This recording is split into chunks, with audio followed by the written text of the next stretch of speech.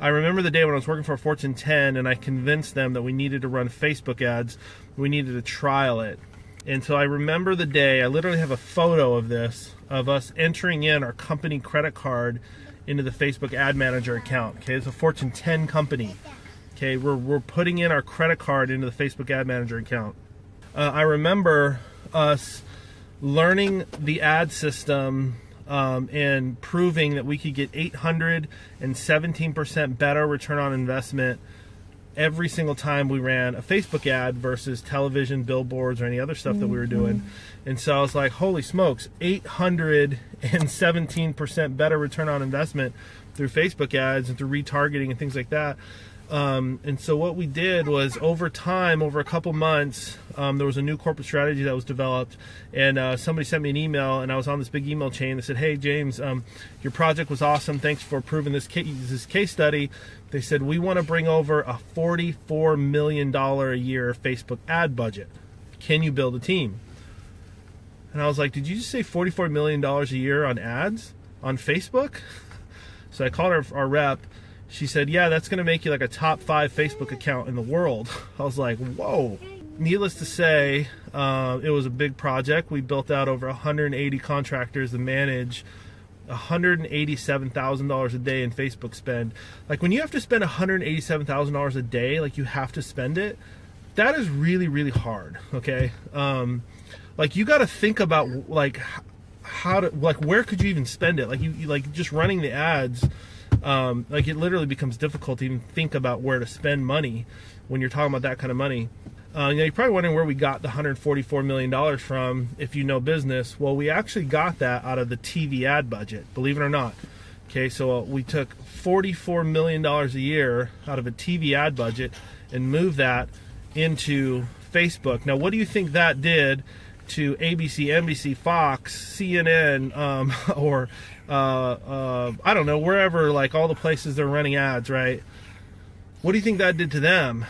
Um, you know, that that's like a a massive shift, guys, in in advertising is to know that the biggest companies in the world are trying to do what you do.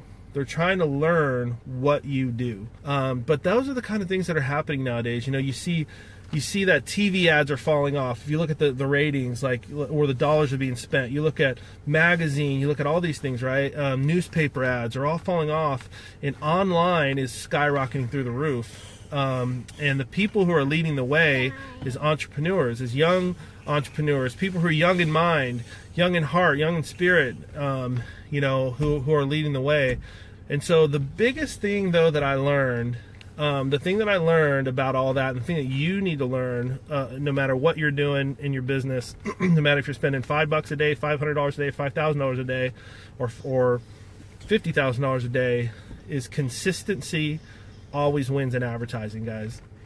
So you might say like, well, I'm not running paid ads.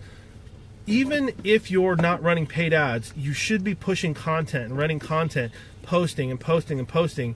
And you're probably going, like, when you first start posting, you're going to start saying, people are not responding. Maybe for six months, people aren't responding. Maybe for 10 months, people aren't responding.